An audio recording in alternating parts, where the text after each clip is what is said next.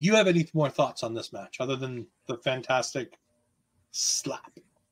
No, it was like I it was better than I thought it was gonna be, to be honest. And not it's not to dunk on them or anything like that, but yeah, it, I like how they like you said how they sold for each other and the back and forth they had here. Still, they both look strong, which I like about it too. It's like it didn't make Gacy look any weaker. I kind of missed the part of the X being thrown, but I, I I I could hear it when it was happening that they called for the match to be done, and I could see in Oba's kind of reaction that he was not expecting that at the moment either. But it's nice to see now at least he's okay and to see the the, the changes that they do at last minute because of it.